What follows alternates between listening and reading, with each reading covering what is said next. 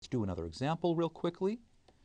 Example number two, we will let A equal 7 radical 6, 2, and you see real numbers. They don't have to be integers. They can be any number at all. It could be pi, it could be e, it could be anything. And we'll let the vector b equal 2, 2, 0, 2, 2, 0. Uh, let's do a minus b.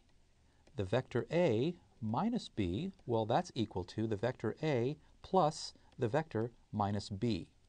Because you know that there is no such thing as subtraction in, in, in mathematics, as it turns out. Uh, there's only one operation in mathematics, that's addition. Uh, subtraction is addition of the inverse of a number. Multiplication is actually just multiple additions, as it turns out.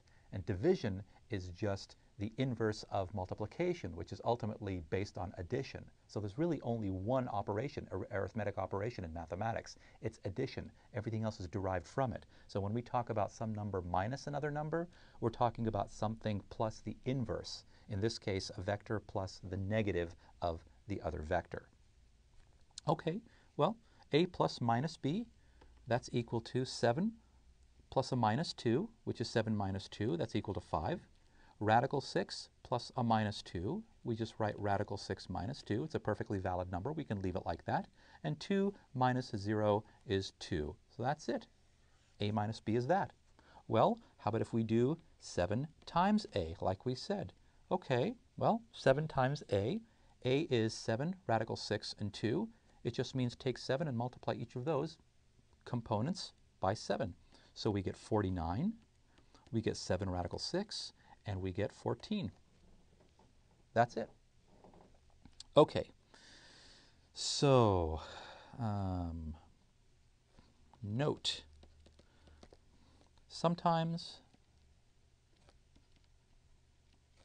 notice we've been writing our vectors, um, our points in space horizontally, listing the numbers horizontally, component-wise. Sometimes we're actually going to list them vertically. Uh, it's just a notational device, and uh, later on, if we start working with matrices uh, with multivariable calculus, you'll see why sometimes we write them vertically, but just know it's the same thing, whether we write them this way or this way.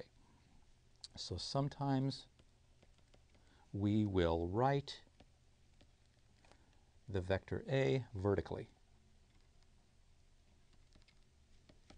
In other words, if I had the vector A, which is, let's say, a 4 vector, 1, 7, 4, 2, a point in 4 space, that is going to be equivalent to 1, 7, 4, 2. The only thing you have to watch out for is you want to retain the order.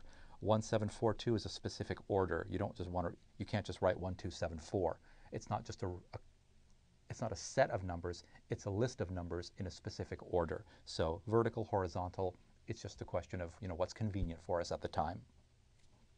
Okay, so two more properties.